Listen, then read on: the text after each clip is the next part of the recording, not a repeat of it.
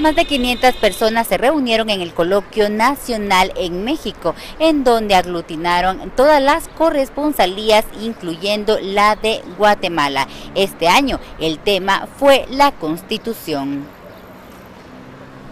Estamos muy contentos de celebrar con este encuentro o con este coloquio los 75 años del seminario y al mismo tiempo los 100 años de la Constitución que nos rige que se proclamó en 1917.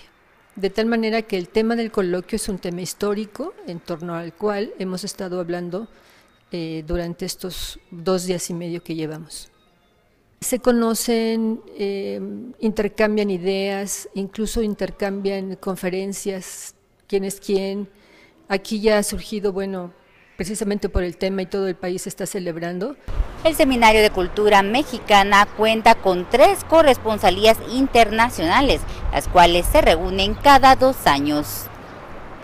Desde la Ciudad de México por una Guatemala en paz, es Limelgarejo.